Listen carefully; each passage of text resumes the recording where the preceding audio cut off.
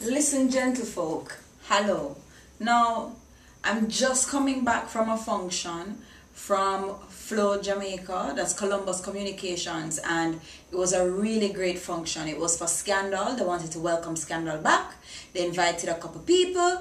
We watched a big screen of Olivia and Fitz and Mellie and Cyrus and James and all those crazy people that Shonda likes to drive us crazy with, and it was fun. However, I don't do scandal reviews, right? I leave that to my girl over at More Talk JA. So I don't really dabble with the scandal review, but there was a scene in Scandal that was cracking me up. It no, if you haven't watched it as yet, pause this, go and watch, come back. This is what you call a spoiler alert.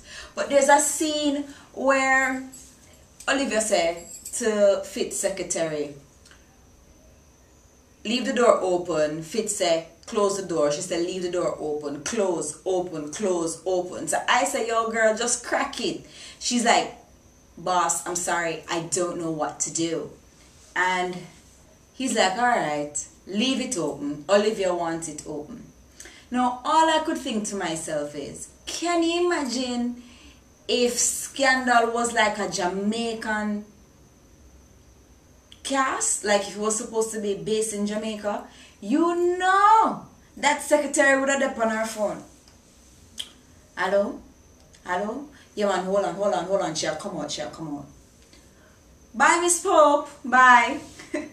Yes, girl, girl. One piece of shouts and I'm going in the room. One piece of thing I go on. She tell me if I close the open the door. Him say close it. She say open. Him say close it. Finally, you know, because as she run things, him have to say, alright, just leave it open. And then, and then me hear one of shouting and then you hear one little quiet so it look like so them kiss.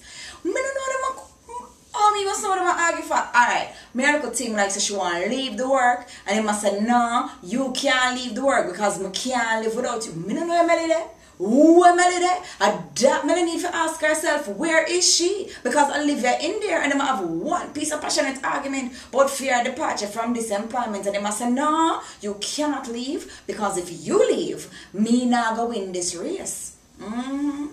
I don't know turn up, turn up, but Anyways, you never hear it from me. Guys, you know. You know. That is exactly how it would have gone. This is a completely idle video, but that's all I could say. Yo, it would have... Crazy. I'm not going to mention how Harrison give me bun, but I still love you. Anyways, I can't wait to hear what More Talk Jay has to say about all that happened tonight. I am going to go and wash my face and try and preserve my sanity. Later.